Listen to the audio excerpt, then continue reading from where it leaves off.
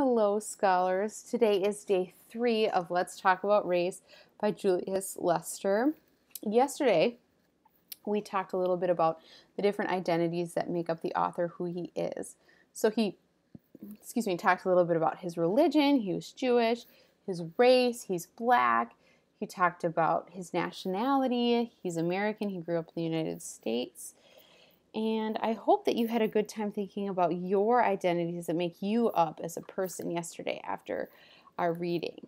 So today we're going to talk about the part of the book where Julius Lester says that sometimes people say things are untrue about your identity. So, one thing that I can relate to that a little bit is some people say something that's untrue about my one of my identities. So I have blonde hair. My ancestors are from Sweden, and um, so that's where I get my blonde hair. And a lot of people say that people with blonde hair aren't as smart with pe- as people with darker hair. So that's an untrue story that people say about me and my identity as being a blonde haired person. So that's just one example. Um, people say untrue things about other people's identities all the time, and they're always untrue. Okay? So let's keep reading. Just as I'm a story and you are a story, and countries tell stories about themselves, race is a story too. Whether you're black like me, or Asian, Hispanic, or white, each race has a story about itself. And that story is almost always the same. My race is better than your race. Some stories are true, some are not. Those who say, my race is better than your race, are telling a story that is not true.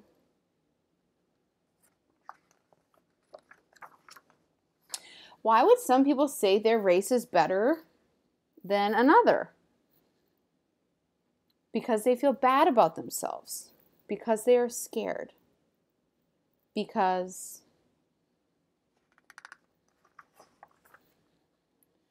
But there are other ways all of us, even me, even you, think we are better than others.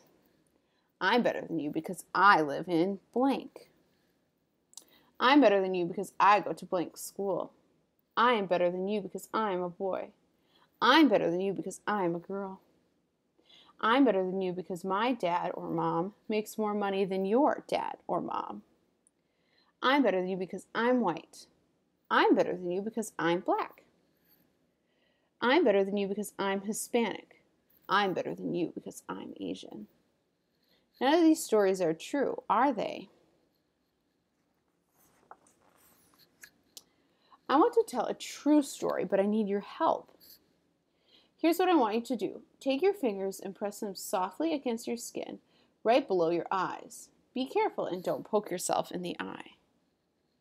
Okay, now Press gently until you feel the hard bones right beneath the surface. Now, if your mom, dad, brother, sister, or a friend is close by, ask them if you can touch them.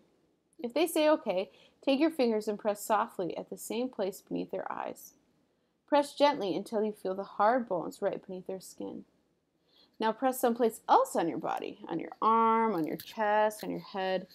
Press anywhere until you feel the hard bones beneath your skin beneath everyone's skin are the same hard bones.